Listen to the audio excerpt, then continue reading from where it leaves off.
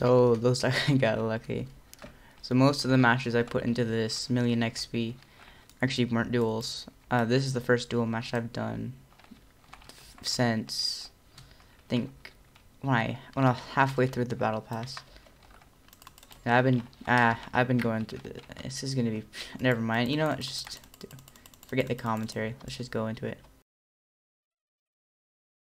Oh dang. Got a little bit too fast. I mean, he's. Eh, you know what? Whatever. Just take two. That nothing happens. You get more XP pro progress to the ground. So I mean, I have to do that. You know that that wasn't like, you know, on purpose or accident. I mean. Oh well. And this final click. I think before I do that, just gonna blow up the bed.